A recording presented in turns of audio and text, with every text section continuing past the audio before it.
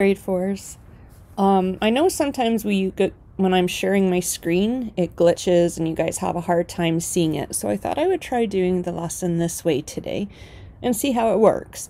That way you can watch it on your own and hopefully we don't have the problems with connection. So today we are looking at patterns in a T chart. And a T chart is this chart here on the right where it's got two sections. And we call it a T-chart because it kind of looks like a T if you look at the middle line and the top line. Okay, so let's read this problem together. It says you decide to work out five minutes the first day, six minutes the second day, eight minutes the third day, 11 minutes the fourth day, and so on. Step A says record and extend the pattern in the table. So we're going to go over to the table. You can see in the left-hand column, column 1, it has the day. And has days 1 to 11. In the second column, it says the time in minutes. And that's how many minutes we're going to be working out. So we're going to fill in the chart by clicking in the text box.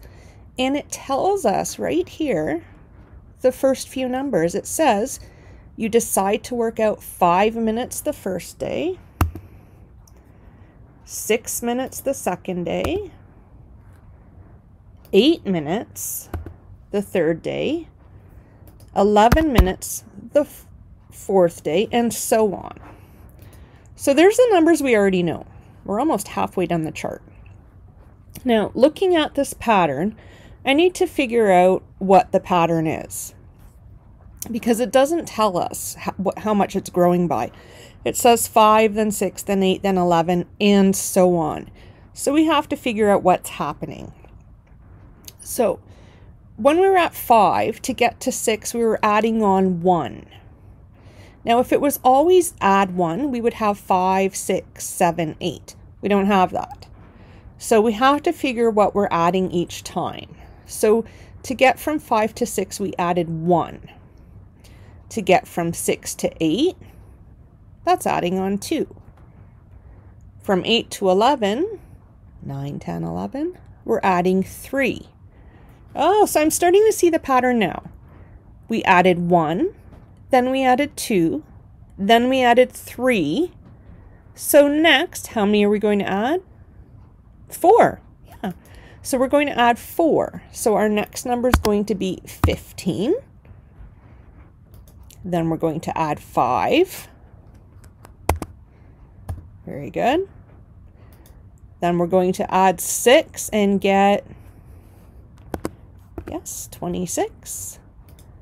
Then we're going to add 7. And what will we get then? 33, yes. Then we're going to add 8. 41. Then we're going to add 9. Now we're at 50. Then we're going to add 10. So now we're at 60. All right, so this wasn't a simple pattern of adding the exact same number each time. The amount we were adding was also increasing. So it's like a pattern in a pattern. All right, so we've done part A. We always go through the parts, right? So part A, record and extend the pattern in the table. We did that, okay? T-charts are also called tables, as we know. Question B says, on which day will you work out for exactly one hour? Well, you, you need to know how many minutes are in an hour. How many minutes are in an hour? Yeah, 60, right. So we're looking, when do we work out 60 minutes? And we're on day 11. And funny enough, this chart goes right up exactly to the 60. That's not always going to happen, guys, so don't always count on that. So the question is, on which day will you work out for exactly one hour? So I'm going to say day 11. All right. Then it says to write the pattern rule.